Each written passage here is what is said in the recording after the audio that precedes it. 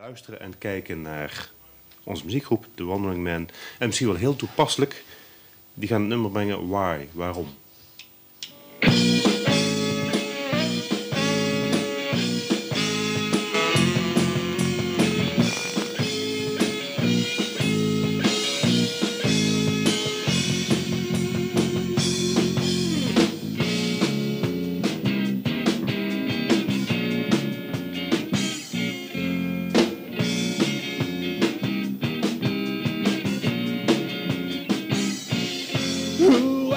Don't you go out and take my place? Take my seat, my drink, take the wife I chase. Listen carefully what she says when she pours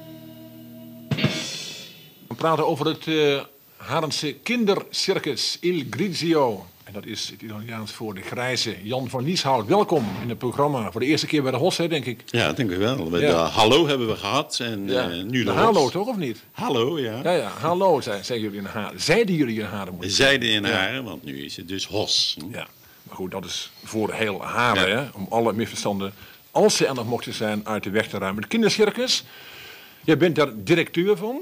Zo heet dat toch? Directeur ja, dat kindercircus. directeur, maar bij een directeur denk je allicht uh, aan, aan een koekjesfabriek of aan een... Nee, ook niet alleen. Bijvoorbeeld? In een jacket met een hoge hoed, maar die heb ik niet. Die heb je ook niet op, nooit? Ook nooit op. Uh, ik ben ook nooit in beeld. Daarvoor is misschien de omschrijving voorzitter van de club. ja, behalve nu dan. Ja. ja. okay. Begonnen in 1961. Ja. Als ik het goed tel, is dat 31 jaar geleden. Dan moet het 1966 geweest zijn. Nou, in 66. 66, hè? Nou, in 66 ben ik erbij gekomen. Maar het circus bestond toen al vijf jaar. dat is toen een tijd door pastoor Verrijd is dat uh, opgericht. En toen kwamen wij in Den Haag wonen. En uh, vanuit Den Haag kwamen wij in Haren wonen. En toen zijn wij bij dat kindercircus terechtgekomen. Tot op de dag van vandaag. Ja. En hoe is eigenlijk begonnen? Want uh, pastoor Van Rijden woont nog steeds in Haren, is inmiddels 88. Maar hoe is het begonnen in die tijd? Nou, wat ik ervan weet is dat hij toen tijd eens een keer naar een ouderavond geweest is in Tilburg. Dat was, meen ik, ook een jubileum van een hoofd van de school. Waar kinderen een circusvoorstelling gaven. En daar is hij toen uh, gaan kijken. En toen hij dat gezien had, dacht hij, nou, dat kan in Haren ook wel. Dat kunnen wij ook wel, zal ik gedacht En Haren was toen nog een uh, redelijk gesloten dorp. En om te proberen om die kinderen dus uh, uh, wat meer mogelijkheden te geven, heeft hij dus dat circus opgericht. Nou, daar zien we ook beelden van, Jan. Hè? Ja. Jij mag zelf commentaar geven. Je bent er veel meer van dan ik. Nou, dat is dus het nummer, dat heet dus antipode. Dat wil zeggen, ze werken hier niet met hun handen, maar ze doen hier alles uh, met de voeten. Dat is een ontzettend moeilijk nummer. Waar ze echt jaren op moeten oefenen voordat ze daar een klein beetje feeling voor krijgen. Maar je ziet dat Lukt al vrij aardig, want dat is toch niet eenvoudig wat ze nu doen. Is het nou uit die begintijd, de kleur te zien niet natuurlijk, hè? Uh, Opname is, van een paar jaar geleden of zo? Nou, ik denk dat dat van vorig jaar geweest is. Ja. ja. Ja. ik meen dat dat nog door... Uh, ja, dat kan ik me nog wel goed herinneren. Het is een hele uh, opname geweest van Hallo toen.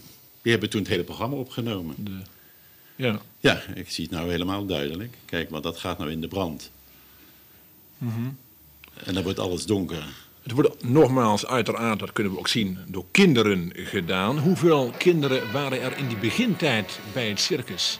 Het zijn er altijd nogal veel geweest, omdat in het begin ook de ponyclub meedeed. En uh, er waren meer jeugdbewegingen in Haren die eigenlijk zo'n beetje de start gemaakt hebben. En op dit ogenblik zijn we zo ongeveer met een uh, 70 kinderen wel die meedoen. En als we alle medewerkers bij elkaar optellen, dan komen we toch aan een dikke 40, 40, 45. Daar zien we het vuur, hè? Ja. Mooi in het donker en... En dan een slotnummer mag ik aannemen van... Uh... Van het antipodenummer, ja. Antipodenummer, ja. Um, je zei al, het idee is begonnen. Jullie zijn begonnen in een tent destijds, in 1966, maar al snel... Ja, 1961 was 61, 61 begonnen, akkoord. Jullie zijn al snel naar een noodkerk gegaan die uit Veghel is ja, de serverheid die uh, wist toen de tijd de beslag te leggen op een uh, noodkerk in Veghel, die buiten gebruik was. En ja, dat is een behoorlijke ruimte als je de banken er allemaal uithaalt. En uh, dat is toen eigenlijk het, het, het tehuis voor het circus geworden. Maar daarnaast heeft het ook de status van evenementenhal gekregen. Ja. Er werd carnaval in gevierd, antiekmarkten en zo en dergelijke. De Noodkerk heeft dus 25 jaar als circus, als circus dienst gedaan. Ja. Ja. Inderdaad. En dat functioneerde dus perfect. Dat ging geweldig, ja. Maar als echte sporthal was het natuurlijk niet uh, toereikend. Het was te laag. En, uh, het kon natuurlijk niet wedijveren met de sporthallen van mm. tegenwoordig. En toen is er dus door de gemeente het idee geopperd om een echte sporthal in Haren te bouwen. En dat hebben we allemaal heel erg toegejuicht. Alleen wat wij niet zo prettig vonden was dat hij toen net op die plek moest komen te staan uh, waar onze sporthal stond. Ja. Dus wij werden wel gedwongen te gaan verhuizen ja, dat zijn onze microbaartjes. Dat is de, uh, Hoe noem je die? De microbaartjes. De microbaartjes, ja. Dat zijn allemaal kinderen zo van de jaren vijf, zes.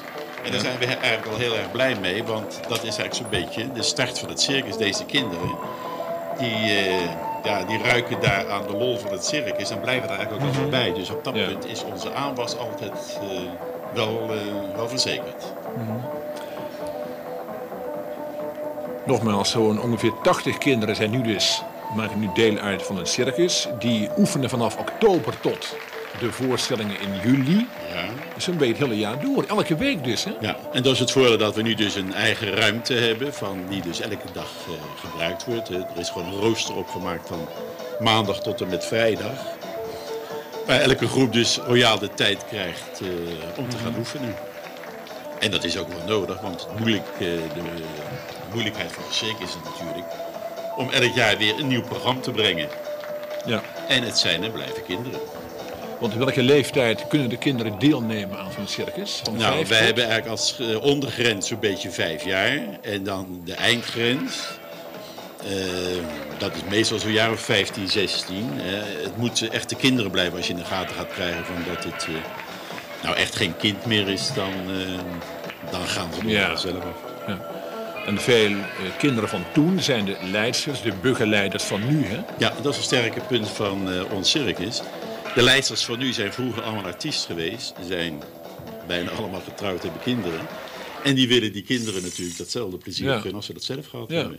Dus op dat punt is het gewoon eh, wel een prettige gedachte. Dat Dat, we niet bang hoeven te zijn dat we geen leiders of leidsters Dat, hebben. dat is jullie kracht, jullie Ja. continuïteit ook. Want als kinderen doorgaan in de begeleidende rol, ze ouder worden, dan zou je kunnen zeggen, dan gaat het circus dus oneindig door. Ja. In theorie. En je hebt ook een beetje eh, ja, vakmensen. dat je Ja, precies. Ja. hebben, Met- hè, dat ze weten waar ze over praten, wil je Ja. Ja. Nooit ongelukken gebeurd? Want Nee, gelukkig nooit. eh, ja, wat is een kleinigheidje, maar een echt ongeluk is er nooit gebeurd. En, eh, een enkel neem ik aan wel eens een keer, maar nooit dat je zegt van dat is echt iets voorgevallen. Ja, we hebben bijvoorbeeld een nummer trampoline springen. Vroeger hadden we dat met, met een wip springen. Daar kwam dan nog wel eens een eh, verstuikte enkel in voor. Maar ehm, de laatste voorstelling op zondagavond, dat is dan de gala-voorstelling. Dan komen de ouders hè, en dan is het echt allemaal leuk. Ja. Nog meer opgesierd dan het al is. En als dat dan achter de rug is, dan slaken wij allemaal een, een zucht van verlichting. Van hé, hey, gelukkig, het is ook dit jaar weer zonder ongeluk eh, Ja. Zoals wij in elke uitzending zo'n beetje doen, hè, als hij weer een beetje redelijk verlopen is. Wat niet altijd kunnen zeggen. Ehm, levende dieren. Het is een van de grootste kindercircussen in Nederland, heb ik me laten vertellen. Klopt Ja, dat is zonder dat eh, nou echt chauvinistisch te zijn. Er zijn nogal wat jeugdcircus in Nederland. Maar wij zijn het enige jeugdcircus wat met eh, dieren werkt. Hè. We hebben ook een echte piste. Dus we hebben paarden, eh, we hebben geiten, we hebben hondjes gehad. Helaas moet dat weer eens een keertje terugkomen. Op dit ogenblik hebben we er geen één. We hebben er varkens in gehad, we hebben er bokken in gehad, we hebben er duiven in gehad. We hebben er... Kijk, hier zo'n dier, hè? Ja. Ja, dat is een eh, mini-pony. ja. En wij vinden ook een circus zonder, eh, zonder dieren, dat vinden wij geen circus. Hebben we ook wel eens bij de KRO een optreden gehad, hè? En Ja. bij de NTS, vroeger toen nog NTS heette. Ja, ik kan me herinneren dat, eh, ik meen dat dat bij het 25 jaar bestaan van de NTS was, dat alle jeugdcircussen in Nederland uitgenodigd werden in, zeg dat maar, in de sporthal in Haren. En dat is een ontzettend leuk programma geweest. We hebben ook meegedaan in het programma Oebelen. Eh, we hebben Ja. voor de KRO nog alles. We hebben Ja. eigenlijk alle omroepen gehad. Nu kun je nog steeds kinderen gebruiken. Jongens met name. Op welke dat, leeftijd? eh, maar dat is, behalve bij de voetbalclub denk ik dat dat overal een beetje een crime is om jongens te trekken. Hoe komt dat nou, dat jongens dat niet zo leuk vinden? Ja, ik, eh, Is, is, toch een meidenaangelegenheid? het is natuurlijk wel zo, als er steeds meer meisjes zijn, dan is het voor jongens natuurlijk steeds moeilijker om zich daar eh, Te manifesteren. Ja. Ja. Dan moet Maar ik we hopen toch wel, eh, nu op dit ogenblik hebben we nogal wat kindjes bij die microbaantjes zitten. Er zijn nog wat jongens bij en dan proberen we die maar te houden. Als er nu jongens kijken en die zeggen: Ik wil zo graag bij dat circus meedoen. Ja. Moeten ze dan iets kunnen? Of kunnen ze gewoon blanco bellen naar jou en dan. Nee, we hebben maar één voorwaarde. En dat is een beetje een vervelende voorwaarde. Ze moeten in, eh, ja, je moet voor, eh, in het dorp Haren wonen. Dat is toch, dat is toch onzin, Jan? Ja, nou, nog heb je één gemeente en dan moet je in het dorp. Nou, maar we zijn nog niet is zo nou ver. Dat, dus- ja, maar dat duurt nog eventjes. Dat duurt maar- Dat gaat Nou, kom veranderen. namelijk hier hoor. Wij worden nog wel eens gebeld Ja. door, door eh, mensen uit Tilburg Ja. en uit Drunen. eh, en laatst weer eentje uit Geertruidenberg. En die zeggen, mogen wij dan onze kinderen niet bij jullie circus laten aansluiten? Maar dan zeggen we, ja, dan eh, gaan we het een beetje te veel op kwaliteit gooien. We willen het eh, gewoon in eigen club houden. En ik sluit helemaal niet uit dat we tussen nu en weet ik wat kunnen gaan zeggen van eh, de gemeente Haren, daar zijn de kinderen. Ja, dat zal toch wel tijd worden hè, dat we dat een keer Ja, gaan doen. ja. Jij gaat nu zeggen, kinderen uit Helvoort, S en Biezenmortel, bel alsjeblieft ook. Ze mogen best bellen. Maar het wordt niet aangenomen. Ja, Nee, dat, is, Ja, dat, zou ik veel maakt- te ver je gaan nu maakt je niet populair hè, met die opmerking in de gemeente Haren. Nee, nee. Maar goed, dan komen we er van een keer op terug. Ja. Iedereen kan bellen, kom op zeg. Dankjewel Jan, ik wens je veel succes met jouw circus. Wij, gaan, wij komen kijken. Weet je Daar wel. ben ik heel blij Ja, mee.